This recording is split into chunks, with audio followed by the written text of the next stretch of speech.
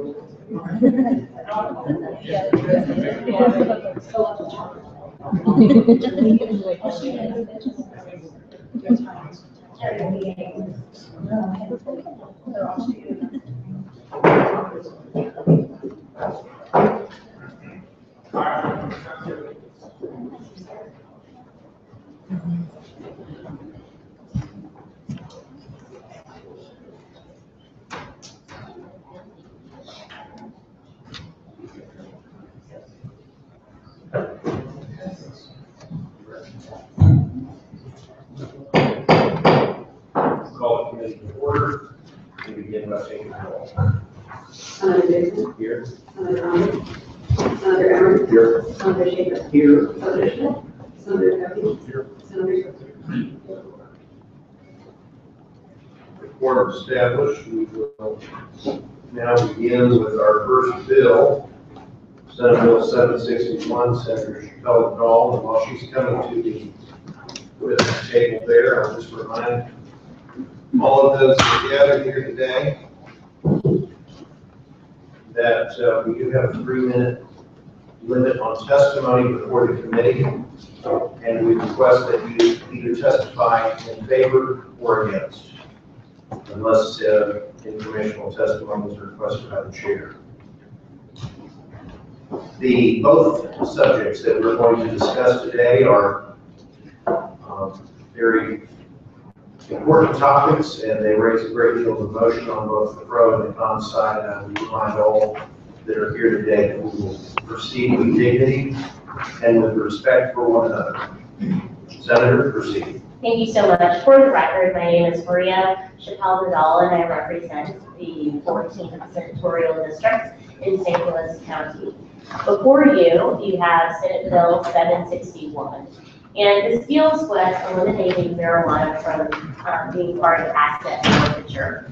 Some years ago, I didn't know what asset forfeiture was whatsoever. Um, Interestingly, in the summer of 2014, I went to the ribbon cutting of the new police department headquarters in St. Louis City, and everyone was there. Part of the speech that I heard was that that building was built because of asset forfeiture. And I wanted to really kind of dig into it a little bit more as I've been learning about the subject and um, the people who are impacted by asset forfeiture and how their lives have changed substantially um, because of having a joint or two joints um, or less than an ounce of marijuana. So simply, what Senate Bill 761 does is um, take out marijuana from being considered in prosecutions for asset forfeiture. And I do have some witnesses who are here today.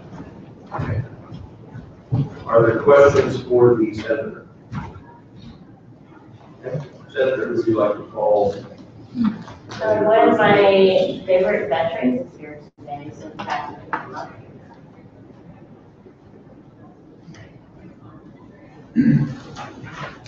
Welcome, sir.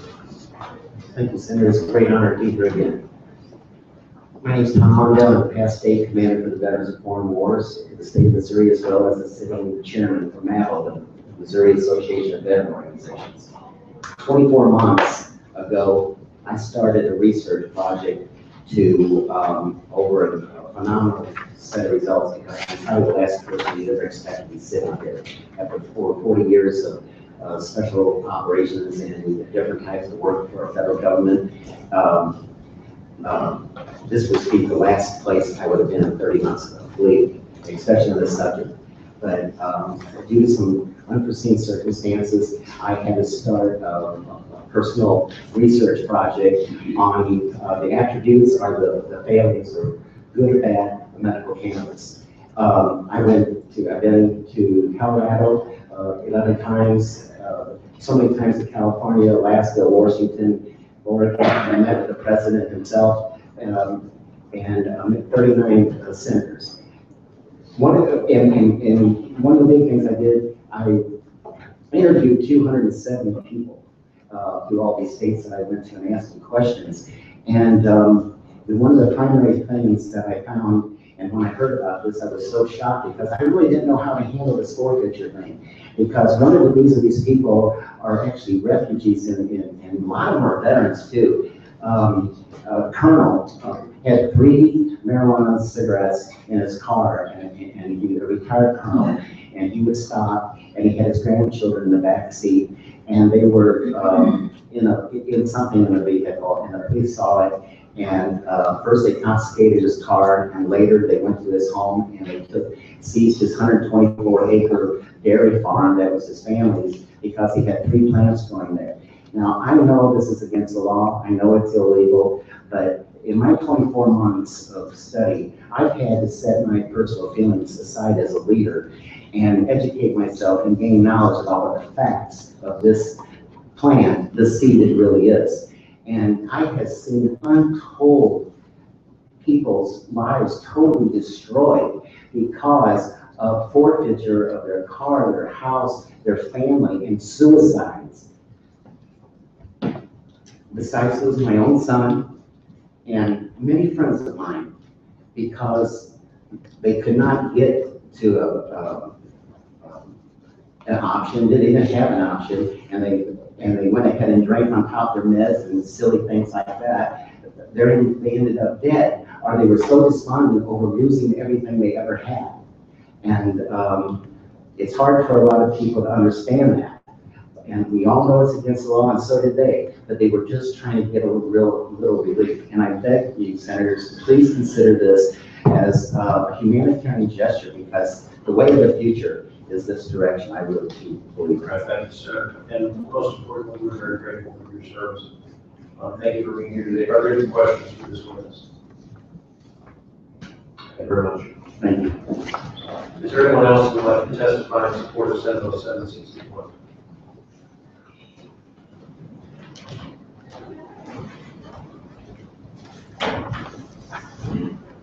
Mr. Chairman, members of the committee, my name is Ethan Panty. I, uh, I grew up in St. Louis. I went to college at the University of Missouri Columbia and now work in Kansas City. And about six years ago, seven years ago, I started a nonprofit watchdog organization called Americans for Forfeiture Reform to issue, to address issues specifically of asset forfeiture.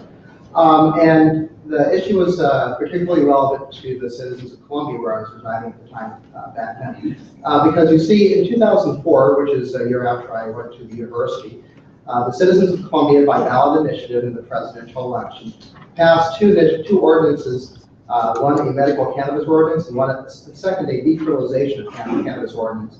So theoretically, the ci- ci- city of Columbia, you are protected from arrest um, if you either have an, either a doctor's recommendation or a misdemeanor amount of cannabis on.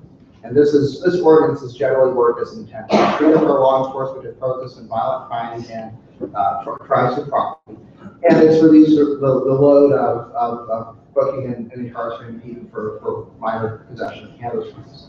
In two thousand nine, excuse me, two thousand ten, in in February of two thousand ten, the Columbia Police Department, uh, raided the house of, forget the gentleman's name, but it was a Kinlock truck, about four miles from my house in Columbia. And they raided it at night at eight, eight PM on a Tuesday. Uh, they went in guns blazing, they killed two dogs, and it, wa- and, and captured the incident on film for training purposes. When the Columbia Tribune got this, uh, footage, it was interna, it was an international incident, and, or it was, it got international publicity, and suddenly there was a major outcry on the issue. You know, we had passed by vote- voter initiative, a, uh, a, uh, a, uh, an ordinance that said that our police department should treat cannabis crimes as the lowest priority. Uh, yet we're sending, uh, our law enforcement into dangerous situations at night in homes where there are children present. Uh, and these are really aggressive militaristic raids. So one of the things that happened after that raid was there was a lot of, lot of, uh, community outcry. Uh, our newly appointed police chief, Ken Burton, was, uh, who is a friend of mine, uh, he did an extraordinary job reaching out to the community and listening to our concerns, which resulted in a policy change at our police department, which was that SWAT team would be only used in violent situations as opposed to, uh, you know, uh, nonviolent cannabis situations. And we, one of the things we did is we went to the circuit court, and got the SWAT records for the last three years, from, I think, uh, 2009 or uh, uh, 2011 to 2008 or so. Um, and we found about half of the raids in our, in our city were over marijuana.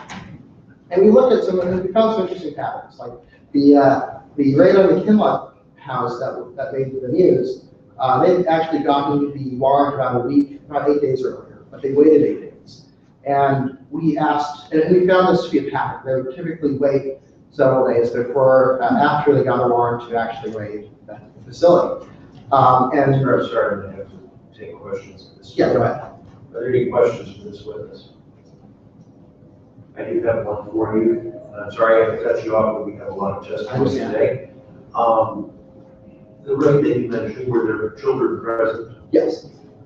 Was there any concern raised that there was marijuana in the home or children there? The ci- citizens of Columbia have generally uh, accepted the use of medical cannabis, which is why we have an ordinance. Um, So typically, we don't want children to have access to cannabis willy-nilly. Uh, But we do, the, the citizens do understand that there is a, a use and a value for this. Um, And we would, and I'm actually working with the city council and the city manager right now to push out a policy resolution to this deliberative body endorsing uh, the legislature's action on medical cannabis. So we want to see it appropriately regulated, we don't want to see kids getting into it. The reason I asked, sir, is in this building, you have to understand that most of the time we hear the things for the children. Mhm. So you raise the prospect of children, I certainly have to ask the opposing question. Absolutely. If there was, if there was marijuana in the home, I would assume that there would be some sort of concern raised if there were children present. We, we certainly don't want children having, you know, uh, unrestricted access to cannabis. We, we think that such, as- such things are best, uh, uh, done through doctors, uh, doctor's advice and, and, uh, and parental oversight. Um, we, we don't, we don't, Columbia generally doesn't think that the presence of cannabis in a home is a uh, danger to children if the children don't have easy access to it. It's appropriately contained. No, just like pharmaceuticals, we make sure that they have little lock tabs on top of those. Absolutely. and- So, I'm, I'm just, I just want to raise the obvious question, I'm sure, like many members might be thinking, I can't speak for them, but, um, In this case, Senator, the uh, gram of cannabis that was found in the rape was insane. Senator, Thank you. Um, Yeah, I guess to, to uh, follow up on Senator Dixon's question, um, as a physician, I, I, I spend a lot of time warning parents about the dangers of secondhand smoke. and Cannabis smoke is not innocuous. We, you know, I, I wouldn't say that I, I would uh, support anyone smoking cannabis around children, but I think that there's clear science that demonstrates the medical utility of cannabis for children um, in non-smoke form, so cannabis oil. So we're not talking about statements, we're talking about kids who just have like lungs and have to do things like breathe. Sure, and, and, and, and, and I- I'd point, uh, I can, I can certainly find some monographs for you on, on uh, exactly what's in cannabis, but I You're, don't. you're, you're gonna answer that. You're gonna tell me that cannabis smoke, secondhand environmental smoke is safe for kids to inhale? I, I- Just for a second, not everyone smokes, they cook it. I know, Like but whatever you get, whatever. Yeah, I know, I know, I'm just, I'm just, I'm just, just this idea that it's okay to have cannabis around I, kids. you you know, I, I, I think that it's reasonable, it's a reasonable position to say that uh, you shouldn't smoke cannabis, cannabis around children. Okay. Um, these forfeitures, are, are, are, are all of them state or allowed to federal? It's my understanding a lot of them are federal. Well, they are federal, but uh, recently the Department of Justice has uh, suspended the equitable sharing program that would allow the transfer to the federal government of uh, property from the states. And the reason why is because in the last, over the last year, Congress has rescinded about a billion point two dollars from the federal asset forfeiture fund, which put the stability of that fund in, in, in some uh, question. So the Department of Justice made a policy decision to suspend that program uh, in effect, meaning that the only forfeitures happen at the federal level are not being shared with the states, uh, which means that the federal government gets to keep one hundred percent of the revenues. No, but I'm just curious, when we hear about asset forfeitures, because I've, I've heard quite a few in the press now, uh, are we generally hearing about federal forfeitures, which, which anything we do in this building really affect? Or are we mostly hearing about state forfeitures? Well, there's a relationship because uh, here in Missouri, we have a law that says that asset forfeiture revenues go to the school building construction fund, or the revolving school fund. Sure. And so the federal, uh, uh, so, but, but that changes if you have a federal agent or your task force is working, has some kind of federal contact. So, a lot of these monies, you know, go through the circular, this circuitous, uh, channel to avoid getting into this whole building revolving fund, which raises issues of both executive, um, prioritization and, and policy, uh, because essentially what we're talking about is executive branch agencies that are self-funding themselves outside of the appropriation process. So independent of any discussion of cannabis or drugs or, or, uh, or other issues, I think it's a significant issue that this legislature should address in terms of reasserting its power of the purse over this revenue stream. In in case you, you referred to Columbia a SWAT team involved, um, was there a question of of these, the, the property being occupied by by drug dealers? Because drug dealers once in a while have guns, have shotgun traps, have all sorts of things. There's a lot of shotguns in these areas, Senator.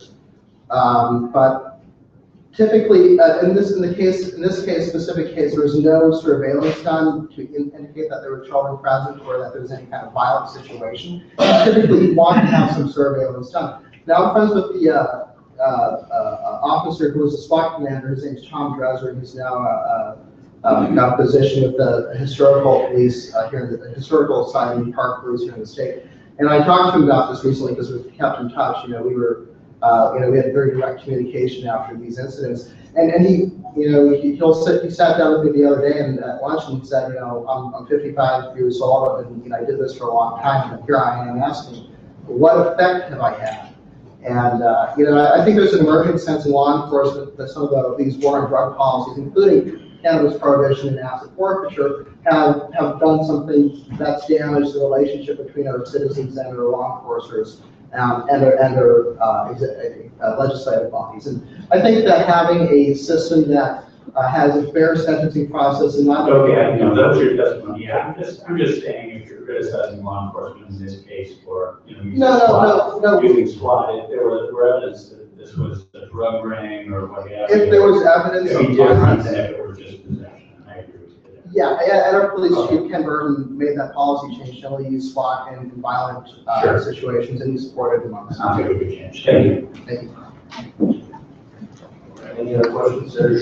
Thank you, Mr. Chairman. Just a quick question. So I know that there's actually a lot of law leaders, conservative law leaders in Congress who addressed asset forfeiture. Mike, Senator Mike Lee, I know is, Oh, yeah. talked about this.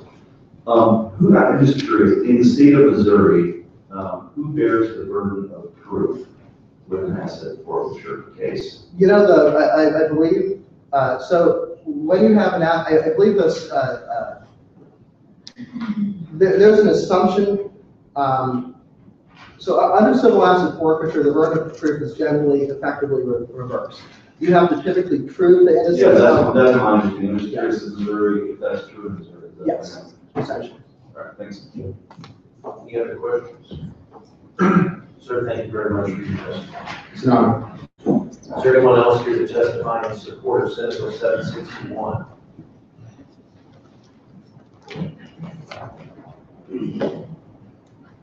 Yes, good afternoon. My name is Dan Viets. I'm an attorney in private practice. I've practiced criminal defense law throughout the state of Missouri for the past 30 years. I've represented many people who were the targets of forfeiture efforts. Um, I think that this bill is a very wise proposal. It's clear that the marijuana policy of this nation is evolving and changing rapidly. Uh, Two Gallup polls have shown support for uh, a different approach to marijuana. That different approach being regulating and taxing cannabis as we do alcohol. You know, it's kind of ironic that we call marijuana a controlled substance, because indeed it is an uncontrolled substance, while it remains prohibited, just as alcohol was really totally uncontrolled during the twenties and early thirties when we experimented with prohibition of that substance. But specifically as to forfeiture, I think it's important to understand that although we passed some significant reforms of our forfeiture laws back in the early 1990s, that people who commit rather minor offenses are still subject to losing some or all of their property. For instance, I represent a man in St. Clair County a few years back, had no prior criminal history whatsoever. He had grown a single marijuana plant. And the prosecutor in St. Clair County, not the one who sits now, but a former prosecutor there, attempted to take his entire farm. It was a small farm, it was an inheritance from his parents. He'd grown one marijuana plant on that farm. The prosecutor actually tried to take the whole farm away from him based on one plant. Um, I, I represented a man up in Sheridan County several years before that, and another man who had no prior criminal history whatsoever. He worked a day job in construction, he worked nights at his sister's bar, and he was the target for no particular reason apparently of an undercover female agent who lured him out into the parking lot one night and had begged him for weeks to get her a joint. He finally got her one joint, they smoked it together, and because he left the roach with her, he was charged with a Class B felony of, of distribution of controlled substance, and there's, there's nothing in the law that says that can't be charged that way. You know, here's some other examples. Under Missouri law right now, if you possess any more than one and one quarter ounces, if you have one and one half ounces of marijuana, you're committing a felony offense. If you attempt to do that, you're committing a felony offense. If you, if you, um, attempt to sprout a single seed, you put a seed on a wet paper towel and, and you're trying to sprout that seed, that is a class B felony offense. And, and as I just pointed out in Sheridan County's case, passing a joint can be charged as distribution. These are all felony offenses, and the significance of that is that under our forfeiture laws, it requires that the defendant be convicted of a felony offense before that person's property can be taken. But it doesn't take much, again, merely the attempt to do any of those things, uh, can indeed be charged as a felony. I'd be glad to answer any questions if I can. Any questions, Senator? Thank you, Mr. Chairman. Yeah, so I don't understand the process. So, um, in that circumstance where, um, the farmer grows the plant, um, um, charges are pursued by the prosecutor, what is the, what is the legal process for the, act- for the actual forfeiture of the asset? Is that, that's a separate proceeding? It is And the burden, and who bears the burden of proof? Well, that is an interesting question. Uh, A presumption of forfeitability arises if there's a controlled substance in proximity to whatever they're trying to take. So I mean, if, if there's marijuana on your farm, if there's a plant on your farm, then a presumption of forfeitability arises, and that shifts the burden of proof to the defendant to try to prove that even though there was a controlled substance there, it, it really shouldn't be forfeited. So I hope that answers the question. That's my understanding of the law. That's the way I've seen it work. So, in, that, so be sure to say, this is what my understanding is, I'm just trying to confirm this, maybe some other witnesses will follow to satisfy too. In those instances, the, the defendant, unlike any other criminal sort of prosecution, the defendant bears the burden of on the state. Yes, at that point. And, and, and, and of course, it's not beyond a reasonable doubt that's required. A mere probability that the property was used to facilitate a crime. In other words, that you grew a plant on your farm is enough to justify a forfeiture. Okay, thanks. Any other questions? Senator, I just wanted to repeat the question to the earlier witness. Um, how many of these forfeitures are federal versus state? I don't know the answer. I wish we knew the answer to that question. And I think the previous speaker was correct that at least up until recently, most state forfeitures have been handed off by our, our state police agencies to federal authorities to evade the reforms that this body passed back in about 1993 or 4. You know, under Missouri law, you have to actually be convicted of a crime. Under federal law, you don't even have to be charged with a crime for your property to be taken and kept. Under Missouri law, you, you know, the forfeiture cannot proceed until the criminal case is completed. Under federal law, there's no such impediment, and they can go right ahead with that. And the previous speaker was correct too in saying our Constitution, since at least 1945, has required that the proceeds of forfeitures go to support education. When law enforcement evades and violates arguably that constitutional provision, they're depriving education of that money and instead spending it on what they choose to spend it on. There's no real accountability for how that money is spent. any other questions? Thank you very much. Thank you. Anyone else to testify in support? Good afternoon, uh, Mr. Chair and members of the committee. Jeanette Mott Oxford testifying in support on behalf of Empower Missouri. Our Human Rights Task Force and Board of Directors have been studying issues related to marijuana laws for a while, and uh, especially became aware of this forfeiture problem uh, when many of us read the book, uh, The New Jim Crow by Michelle Alexander, which we would highly recommend. Any questions for Jeanette? Thank you very much. Anyone else to testify in support?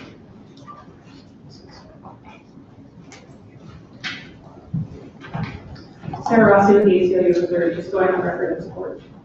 Any questions for Sarah? Thanks. Others in support, last call. Anyone testify in opposition, send no sentences.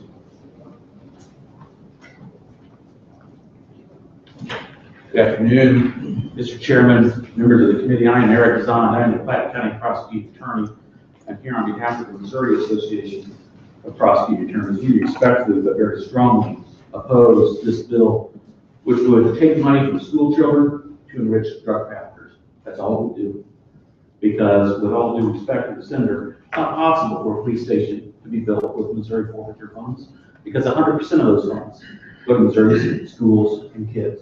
That is possible under the federal equitable sharing program as it used to exist for some of those federal funds to come back to the state. That program also no longer exists.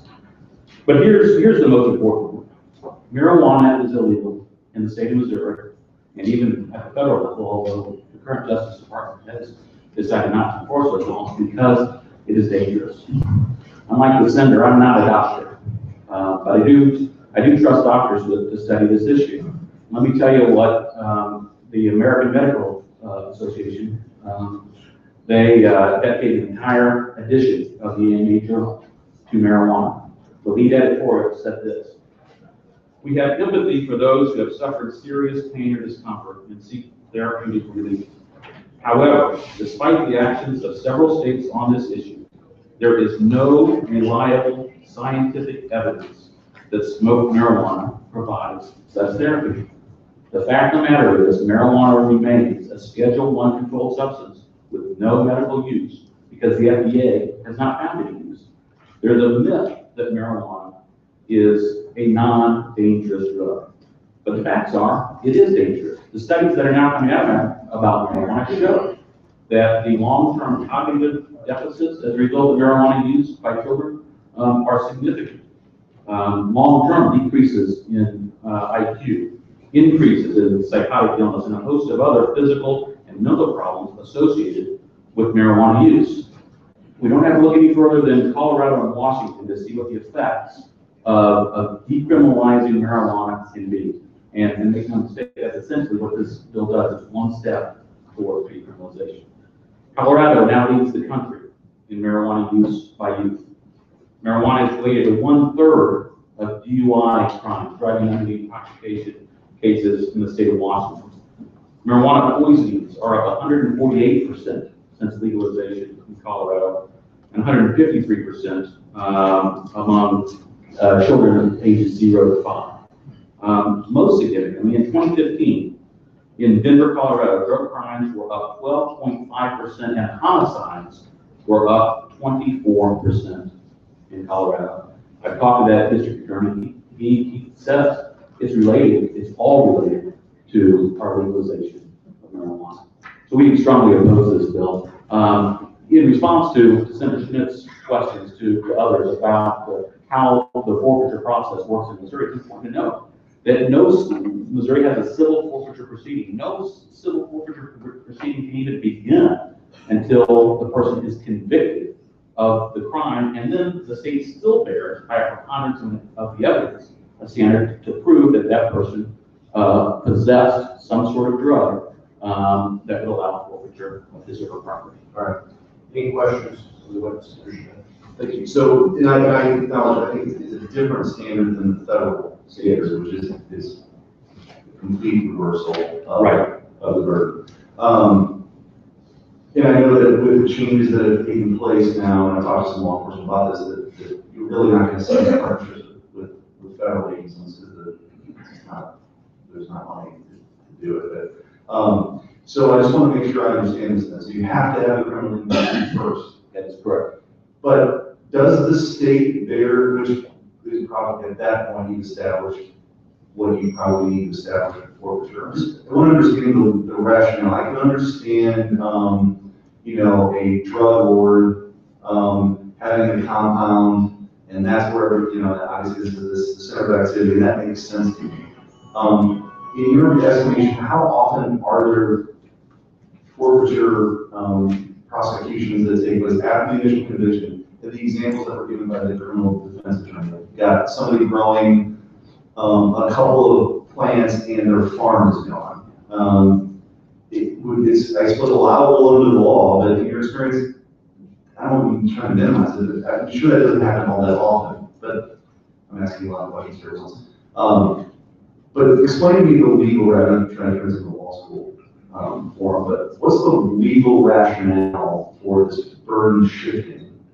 If it does take place, if you're telling me it doesn't take place, at the asset forfeiture, you know, we'll have to we'll explore this, but what's the rationale for that? Right, it, it doesn't take place at the state level. Or- And, and, and remember that the state law is entirely different from the federal law. Federal law uses an administrative forfeiture procedure. Missouri does not use that procedure. It's a civil procedure that can only proceed after the defendant has been convicted by a unanimous jury of twelve of his or her peers, um, of the criminal offense.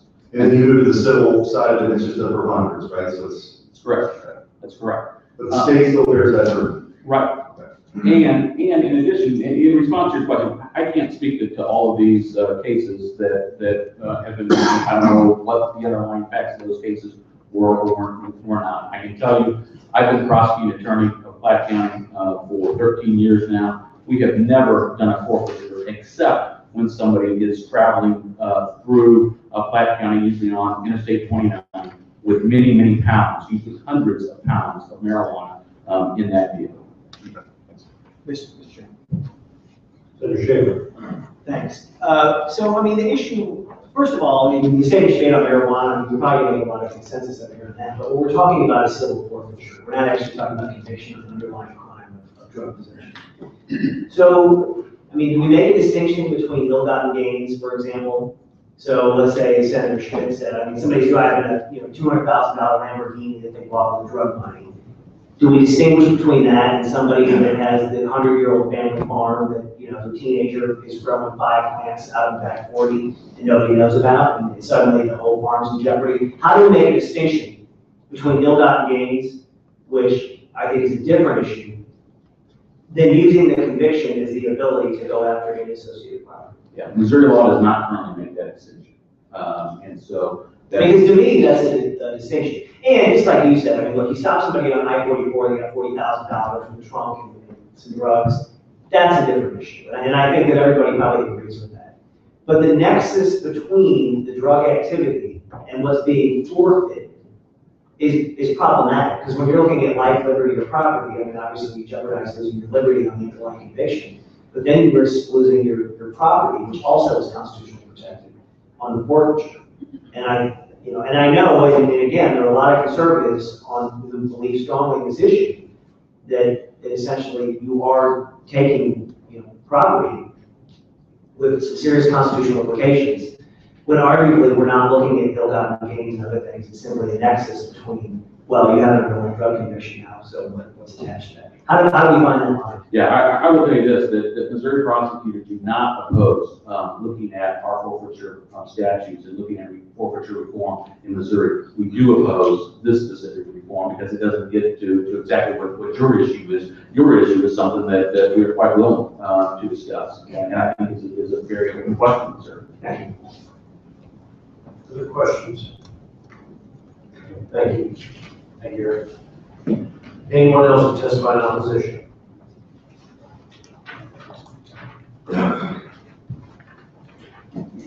Good afternoon. Stephen Korte, Sheriff of Pike County, Missouri, representing the Missouri Sheriff Association, and we are in opposition to this bill. Um, A lot of good testimony and questions so far, but one of the things you look at here is, you know, marijuana is an illegal substance. Um, You know, when everybody's talking about a joint here or a joint there, that, you know, this all, this bill limits all marijuana. So a tractor trailer load full of marijuana coming by forty-four would face the same as somebody who joints. And like I said, this bill doesn't address it, this just takes marijuana completely out of the system. Um, You're, you're basically treating a marijuana drug dealer versus a heroin or something else, you're, you're giving preferential treatment to one drug dealer.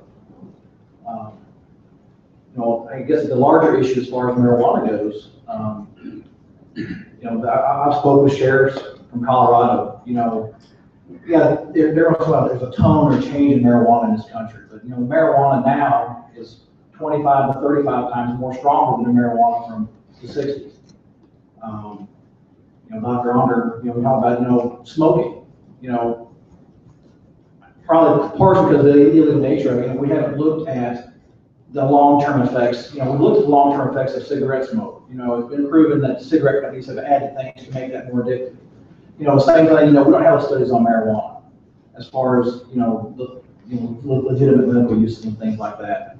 Um, you know, speaking with, you know, have spoken with sheriffs in Colorado and stuff, you know, you've got a situation there where legitimate people that are selling marijuana are being strong-armed by the cartels. You know, we know where you live, we know who your family are, you will give us, pay us money. You know, and then on top of that, you know, you've got, you have, you buy your marijuana legally, you have a legal package that says you bought this legally. There's nothing stopping people from taking illegal marijuana, selling back in that same package and transiting, transiting around their state. Um, that's one of the biggest issues. You know, as far as the forfeiture, um, you know, Missouri, in my opinion, does not have a forfeiture issue as far as marijuana or other things because of the fact that, you know, it is much more difficult. You have to file your petition, you know, to forfeit on property on a drug case within two days. It's not something you, you convict somebody six months, a year down the road, and you come back and try to take their vehicle or their car or their property or anything else. It's something that's done very minimally. Um, I think only extreme cases because, you know, the money all goes to the schools is correct. But on, the- on the reverse side, once the school receives those money, the state withholds that amount of money from the school districts the next year. So, you know, school districts aren't pushing for this. You're not seeing law enforcement or prosecutors pushing for this. You know, only in extreme cases do you see, in my opinion, forfeitures. You know, in my seven years as sheriff, we've done two forfeitures involving marijuana. Uh, the first one was a guy that was had about fifteen plants in his backyard growing in pots, and he claimed the birds dropped the seeds in the pots and they grew naturally. It- Questions? Questions for the sheriff? Senator, Thank you, Mr. Chairman. Uh, Sheriff, testimony. I, I was told that, uh, and this is anecdotal, so I don't know uh, whether it's an accurate representation or whether it's perceived, but I was told, for example, in California, uh, if you walk into a place to buy marijuana, there'll be a rack that has medicinal, and there'll be a rack that has non-medicinal. Um, I guess, I don't know if there's any difference, and I don't know what the difference might be other than the tax treatment. And if someone says, and they'll say, you can either buy the tax free, or buy the untaxed, and I'll say, well, I'll take the cheaper, I'll take the tax, untaxed, and they'll say, well, you need this red card to get that. And you might say, well, I don't have a red card, and you'll say, well, there's a doctor next door, you can go get one when you come back. Um, do you know if that is the kind of, uh, how this being handled in states like California? I'm not very familiar with that, Mr. Okay, thank you. any other questions? Thank you, sir. Anyone else to testify in opposition? Last call. That'll close the hearing on Senate Bill seven sixty-one. Senator, thank you very much. I see you guys have statement, sorry. You can if you like. Okay, I would. Um, you know, there, there are people, thank you, Mr. Chair. There, there are people who study marijuana every single day. And they can tell you that this is one of the drugs where, um, you are not violent whatsoever. There are plenty of people that I have known who utilize marijuana for therapy. And, um, you don't always smoke it, but what we are realizing in some of the urban areas is that people are being penalized for not a lot. And there, I, think there are a couple of good points that were made in terms of the amount. Um, but there are people who are just living their lives a small quantity and they're being penalized for the rest of their life. And I just don't think that should happen, and I believe that everyone should be redeemed. Thank you, though. Thank you, Senator. We will now open the hearing on Senate Bill nine sixteen. Senator Schaefer.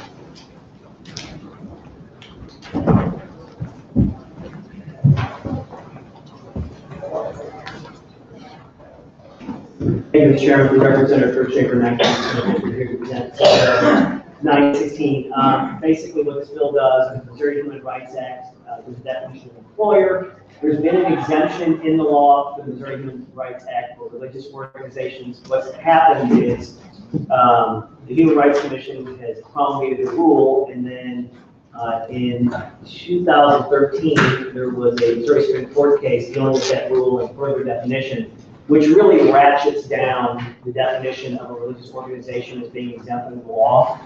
And so what this bill is an attempt to do is clarify. And, you know, I, I know this, this bill's been presented as an LGBT issue. That's currently not something that's protected under the Missouri Human Rights Act. I guess someday in the future it could be, but that's really not the issue here. The issue is overall whether or not uh, employment laws in some way interfere with religious organizations' uh, held, deeply held religious beliefs. And so we've seen some of the things that have come out of the Supreme Court recently, changing the law in the United States and in the state of Missouri. You know, this is where the rubber hits the road if you're a religious organization. This, this is whether or not, under the First Amendment, you have the ability to practice your religion without government interference or not. And so what this attempts to do is redefine the definition of employer to make sure that the exemption for religious organizations that was originally in this bill and has always been is truly interpreted by the courts and, and employers and employees as being an exemption. Um, I've worked with Professor Esbeck on this bill. He's here, uh, he'll be the first witness. You know, I'm, I'm open to discussion on this bill of what ultimately the language looks like. But That is the purpose of the bill. And I think we need to make sure that as we are in kind of this new frontier of defining religious liberty in context of more recent court decisions, you know, we have to make sure as the Missouri legislature that religious organizations are protected and that their deeply held religious beliefs are not interfered with unnecessarily by the government. That's, that's what this bill is about. It's the forefront and it's where the rubber meets the road on this issue. And we're gonna have to de- define where that line is. So again, um, you Professor Esbeck can testify, uh, as to certain things are in the language and much better than I can. But I think we ultimately will have to determine what did that exemption mean when we put it in there, uh, originally, and what's it gonna be in the future. Thank you, Mr. Chairman. Questions for this officer? Senator. Thank you. Clear with the, the way you explained it, the court, um, narrowly uh, construed a rule that was promulgated by the commission. Yeah, so the commission promulgated a rule that basically said to be a exempt religious organization, there's a couple things that have to take place, including the entity has to be owned and operated by a religious group, and then every member of that organization has to be an adherent or a member of that religious organization. So number one, that was the narrowing down by the Human Rights Commission, but then on top of that, the court went into that prong of ownership that's in the rule, Right. and said because the hospital, the religious hospital that was in, in, in question there, St. Francis Medical Center, was in fact owned by a C4. The court said C4 can't own anything. So in fact, it wasn't owned by anybody apparently, and therefore the rule was not applicable. And that's, you know, I, I don't agree with that. I think that's a stretch. But that's the kind of thing that we're gonna have to define, I think, to make sure we have clarity so that there is sufficient protection for religious liberty. I mean, I, I was trying to get you to, uh, comment on why not just rewrite the rule, but you just answered that. Yeah, I, I mean, let's, let's face it, the rule, the rule is an executive branch, under an executive branch, you know, agency. And they may have a different view than we have, and I think that it's our role as the legislature to articulate what we intended to do with the exemption of the original statute, and not leave it to executive branch agencies to somehow define it by rule. Any other questions? Okay. You want to call your first? Yeah, you call Esbeck, please. Welcome, sir. Uh, Good afternoon. For the record, uh, Carl Esbeck, I'm a member of the faculty at the University of Missouri. Uh, My title there is uh, uh, Professor of Law Emeritus, and I write and teach in the area of church-state relations, constitutional law, federal civil rights uh, litigation. Uh, As Senator Baker said, we got um, just recently from the Missouri Supreme Court, uh, somewhat of a technical reading, and it was a reading not just of the commission's regulation, but of the statute itself. The statute passed by this body back in the nineteen seventies. And the statute, the Supreme Court said was defective because it required, in order to enjoy the religious exemption, you had to be owned and operated.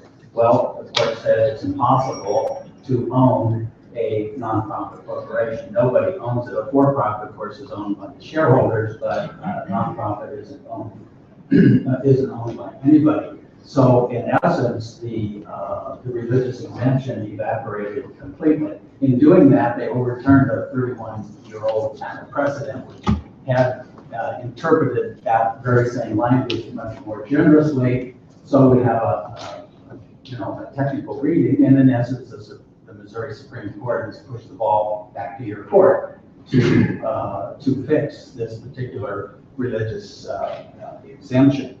But let me just uh, pause, other witnesses uh, who actually represent religious organizations can testify to this better than me, but we have kind of an absurd, uh, all 50 states, minus one now, minus Missouri, exempts religious organizations to some extent from their Human Rights Act.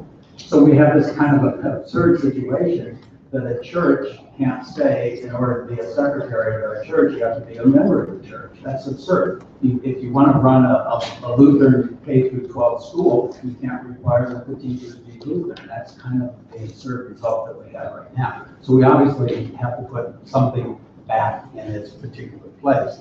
So in order to, to be a religious organization, you have to hold yourself out to the public as religious.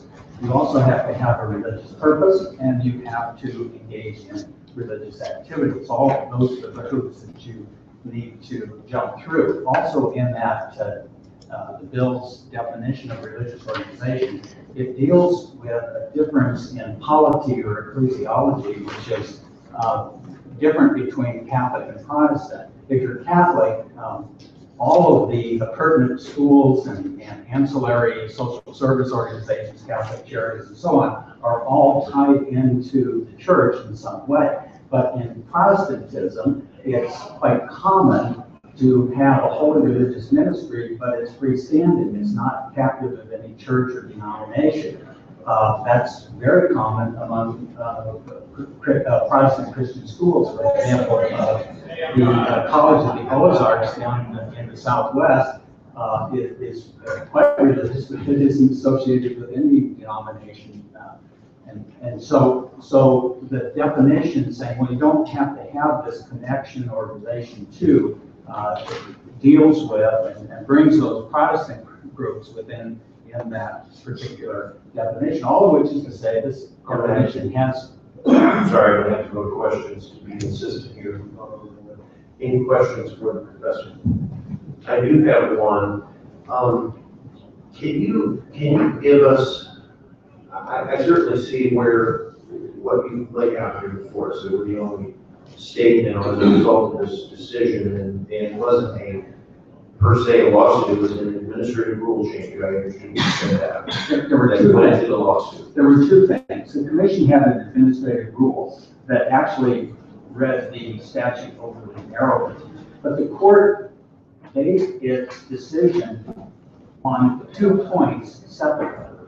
And, and the one that you have to deal with is they said, look, put aside what the commission said.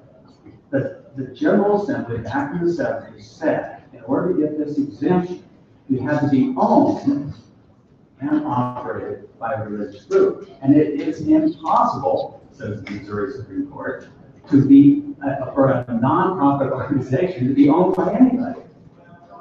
So there you are. So my other question, and that, that, that kind of explains a little bit.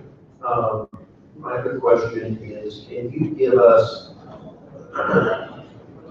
and I, I hesitate to ask for this because it's, I know it can't really be, um, refined perhaps in the time that we have, but historically, you, you touched on uh, the differences there um, pertaining to Catholic tradition versus Protestant tradition. But are there more, um, how can I word this? Can you give us just kind of a summary of historically why we find ourselves in this place um, with regard to kind of a merging of church and state, if you will? I mean, my word, we have the Constitution exerting authority over the church, perhaps, any church. Well, in a country that has celebrated the separation of church and state. How are we here, aside from the court case, I mean, um, it just seems ironic that we're having this discussion. Well, back in the nineteen seventies, and the late nineteen sixties as well. The passing human rights acts. Um, They were defining what, what- who, who was an employer subject to the act. And naturally, religious groups came forward for reasons of separation of church and state, which you correctly identified and said, well, we, we too are employers, but you don't want to regulate us for reasons of separation of church and state. And because it's obviously a religious liberty problem, if you're telling a Lutheran school, you can't just hire Lutheran teachers. That's, that's a major, rather obvious, uh, uh, religious uh, problem. So they exempted religious organizations. And that was just fine in Missouri with a precedent that stood uh, well for 31 years, but the Supreme Court recently rejected that precedent said, no, we're going to read this statute literally, which technically was effective. It is true. Nobody owns a nonprofit organization. So, so in essence, that technicality, that language, which has been there for 45 years, was effective. The Supreme Court wasn't going to give you a pass. The ball's back in your court. I would hope that you again honor separation of church and state and put back in a, uh, you know, a reasonable uh, religious organization exemption. Any questions, any further questions for the professor? Thank you, sir. I would like to ask for a show of hands, how many intend to testify in support of this bill? How many intend to testify in opposition? Okay, I think what we're gonna do is, uh, deviate just a little bit from our, uh, standard procedure here, and we'll take testimony in an alternating fashion, so I'll now call for, uh, anyone that'd like to testify in opposition.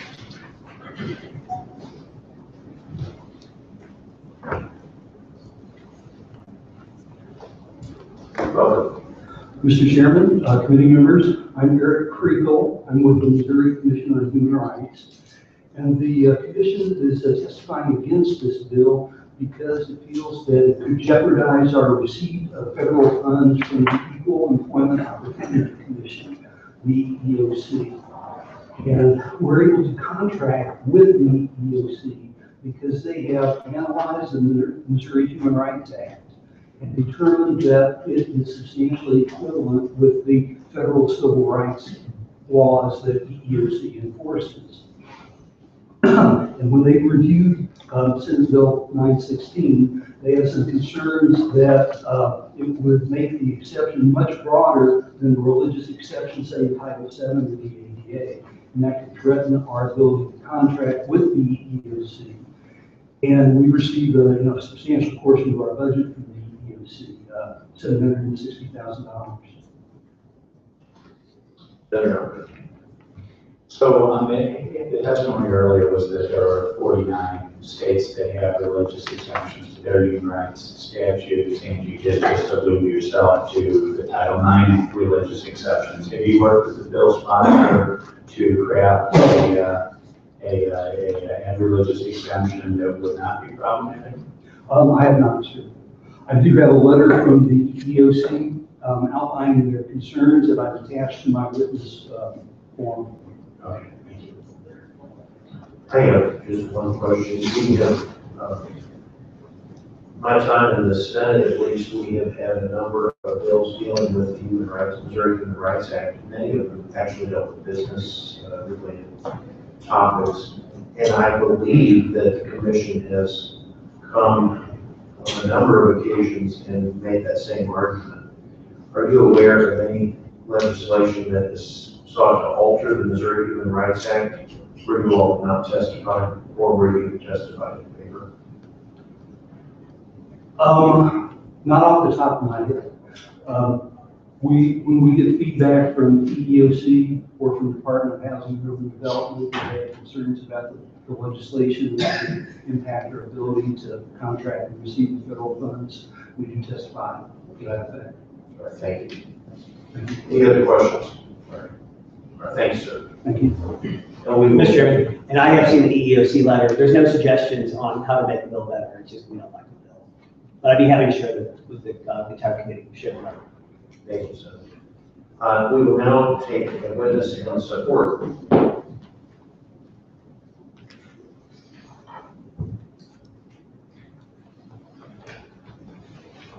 Thank you, Mr. Chairman. My name is Lance Kinzer. I'm the policy director for the group called the First Amendment Partnership, national group that works with some of the nation's largest faith communities on issues of common concern relating to the issue of religious liberty. And I just want to make a a couple of points. The reason we're here today is because of of some points that have already been made, which is to say that this uh, Farrow v. St. Francis Medical Center opinion was issued by the Missouri Supreme Court uh, is, at least in our reading, uh, unique and, and and troubling with respect to the position it leaves the citizens, particularly religious institutions in Missouri and when compared to similarly situated entities in other states. Uh, Our reading of Senate Bill 916 is that it serves really just to restore the pre-Farrow status quo while clarifying the extent of the religious exemption that frankly I think will be helpful uh, to courts and legal practitioners as they attempt to apply uh, that particular exception. By defining more specificity, I think you actually reduce the likelihood of future litigation, which is really important because it goes to a core point that's been made, which is the reason, the history of these exemptions for religious groups uh, in civil rights acts at the federal level, in state laws with respect to human rights, has always related to the understanding that there's something inherently um, unseemly about the state interjecting itself into the hiring practices of religious entities. You know, the United States Supreme Court has recognized repeatedly in a variety of contexts the idea that religious exemptions from civil rights or human rights acts are appropriate and actually further. Um, and Justice Ginsburg, for example, in in unanimous decision in Cutter v. Wilkinson, which is 544 U.S. 709 for attorneys here, I commend it to your attention, talked about the fact that the court has long recognized that government may accommodate religious practices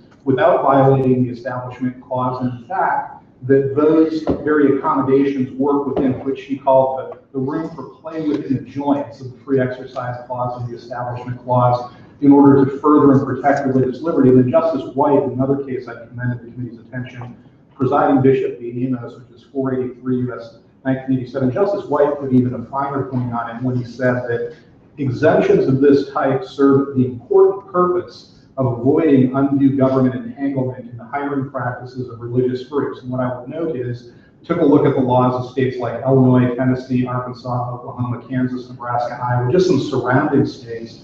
Um, and what's clear is that under the Farrow opinion, citizens in Missouri, the religious institutions in Missouri enjoy now much less freedom from entanglement um, than is the case even in surrounding states. And so I think it makes good sense as a public policy matter to address this in a legislative context. Thank you. Thank you, sir. Any questions? Thank you for your testimony. Next in opposition.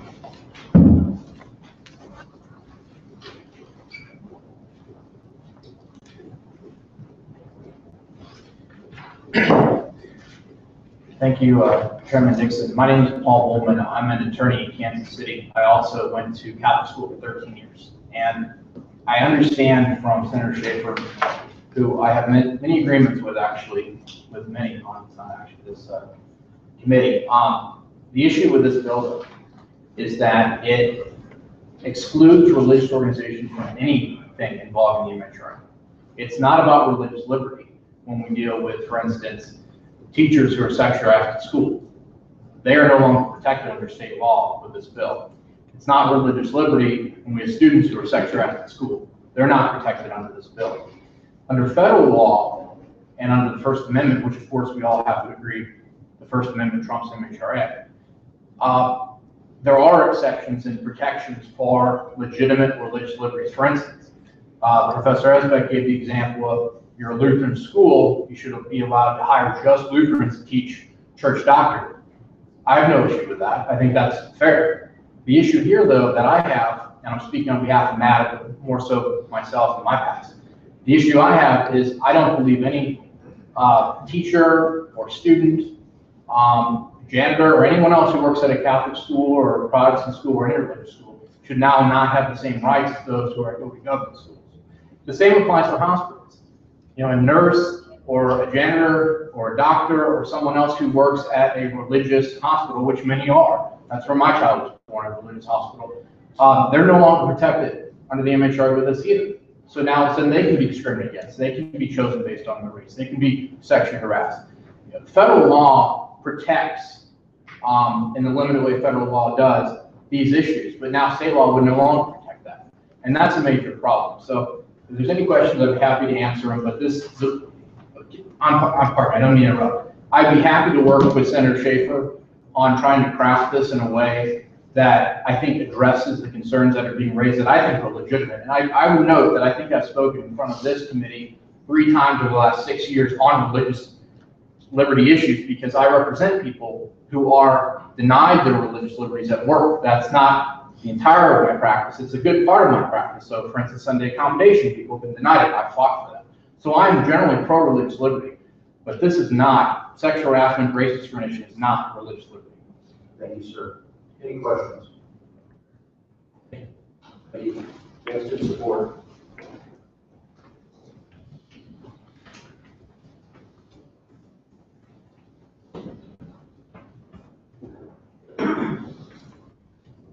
My name is George Paul Wood. I am the Religious Freedom Initiatives Coordinator for the General Council of the Assemblies of God, which is headquartered in Springfield, Missouri, and I'm speaking on behalf, obviously, of Senate Bill number 916.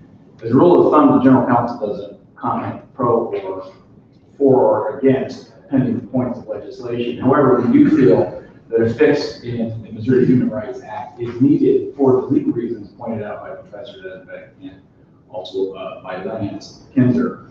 Um, to give some sense of the uh, Assemblies of God's uh, concerns about that, you need to understand that not only is the Assemblies of God, is the Assemblies of God a denomination, our national office is located in Springfield, Missouri. We have two district councils located in Missouri.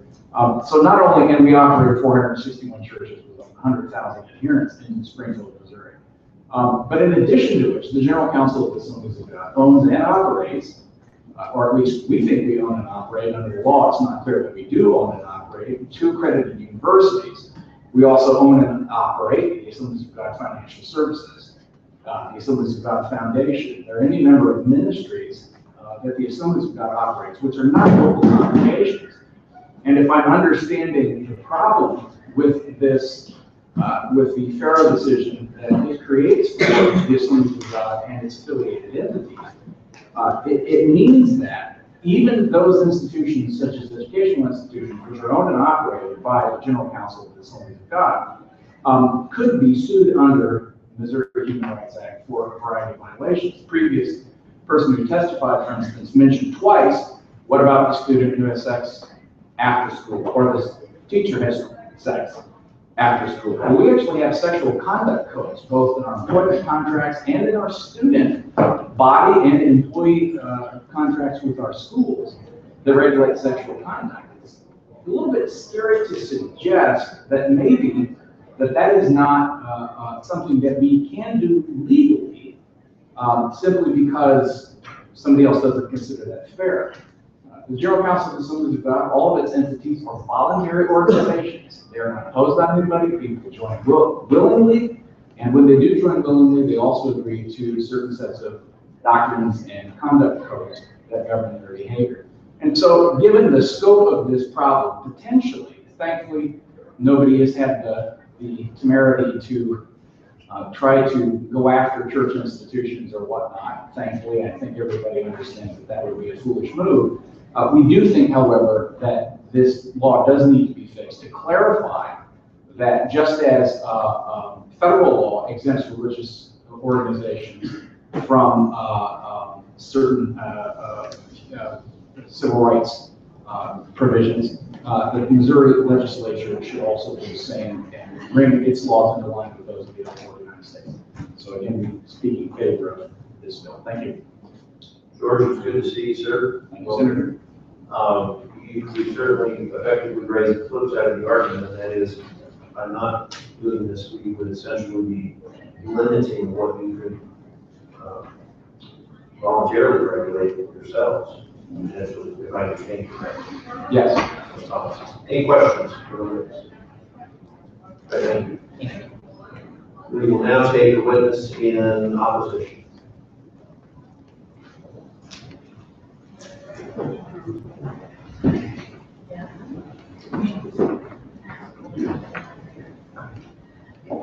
Uh, Good afternoon, Senators. For the record, Sarah Rossi with the ACLU of Missouri. We are here in opposition to the bill. I'm also representing Promo today, who couldn't be here in person. They're also in opposition to the bill. And I also have written testimony from the NAACP of Missouri, who couldn't be here in person, who's also in opposition to the bill. We can accept your testimony for the record, those that are not here. Since they were not here to answer questions, I cannot to witness. I will distribute It's not for me, for you to know that they're. Okay. Just so we're clear, for everyone in Missouri. Our opposition to the bill is very similar to Matt's opposition. I agree that there should be a reasonable definition in the Missouri Human Rights Act for the religious exemption.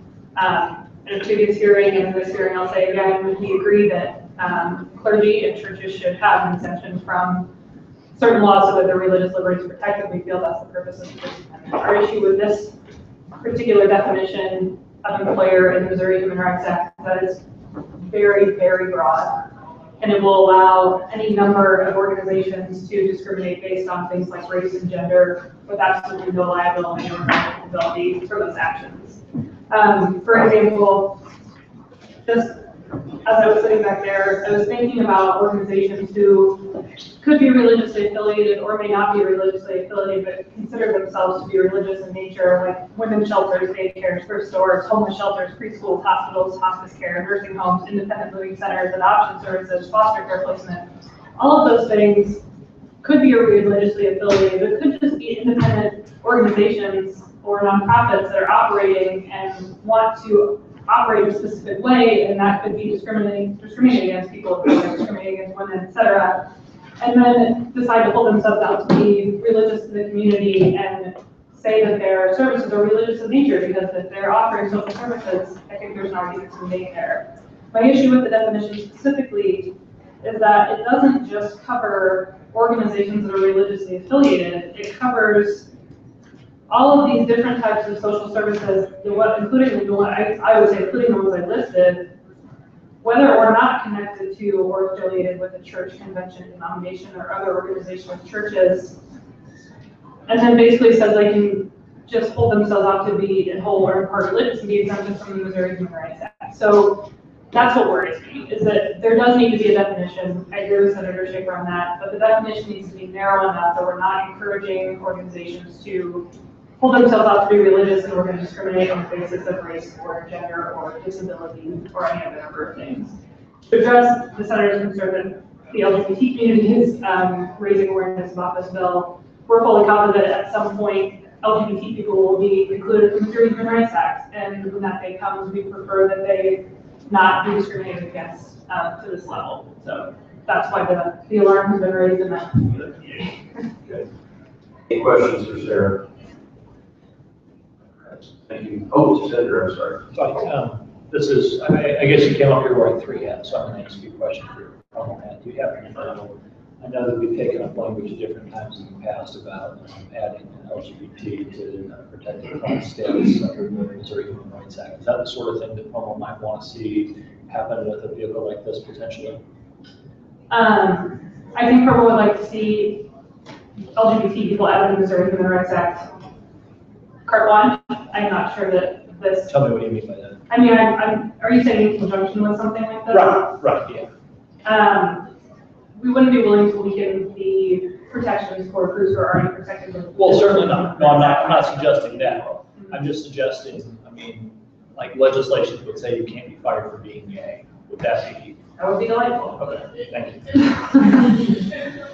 Any other questions? Thank you. We will now take a witness in support.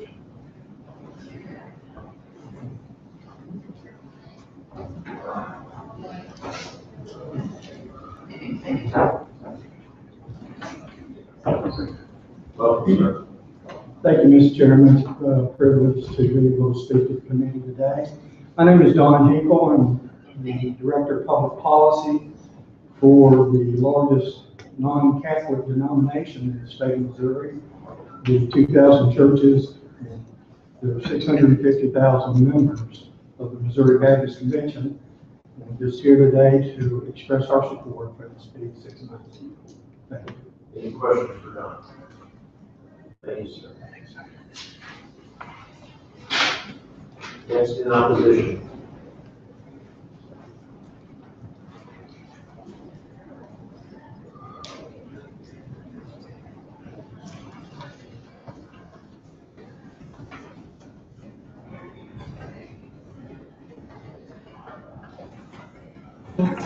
Good evening, Mr. Chairman and uh, members of the committee. Mott Oxford for Empower Missouri. I'm not sure that we have anything new to add. It hasn't been said already, but we'd like to go on record in opposition. Questions? Thank you. Next in support.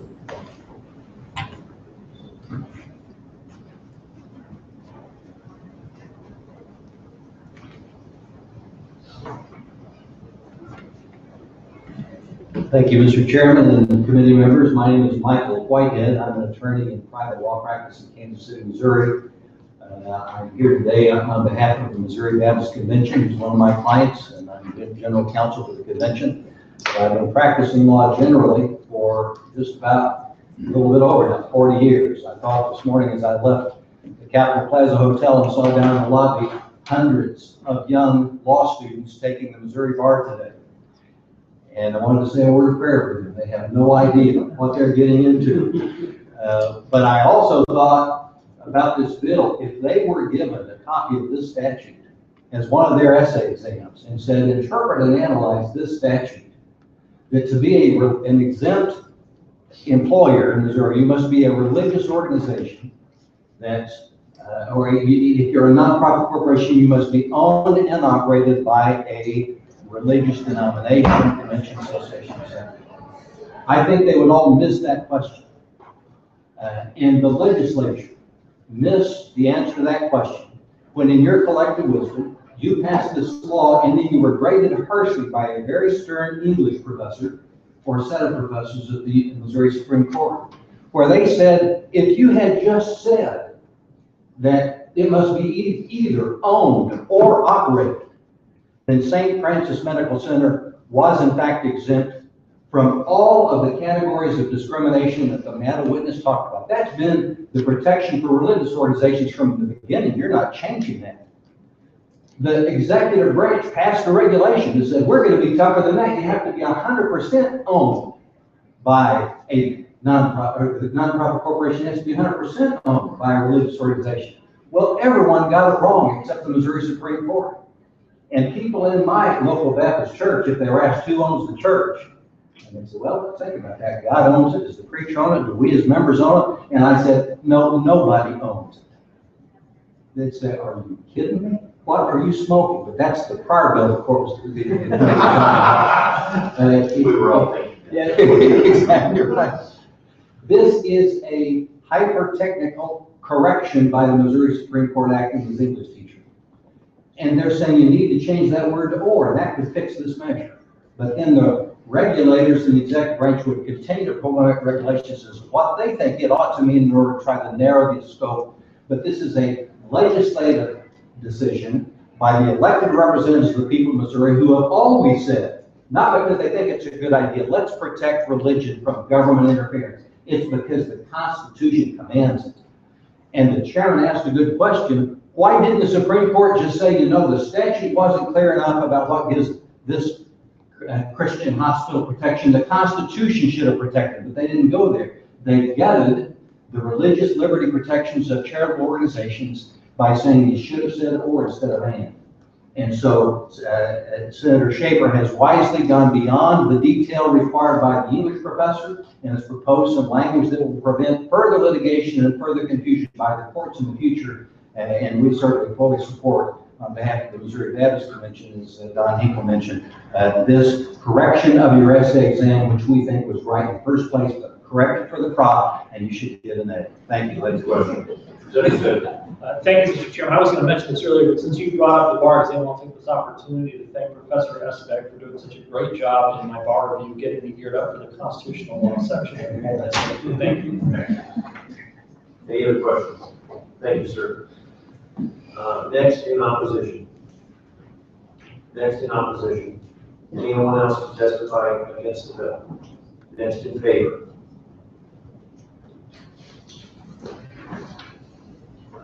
Thank you, Mr. Chairman. Senators, for the record, Nick Mess with Missouri Family Network, want to record and support the legislation.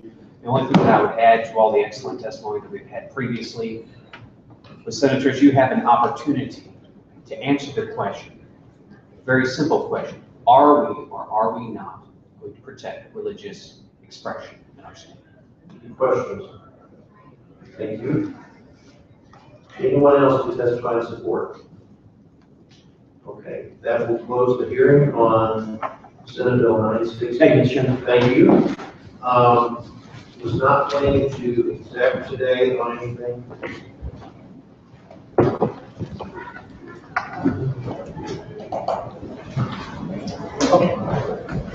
Um, possibly, we will have an exec session later in the week.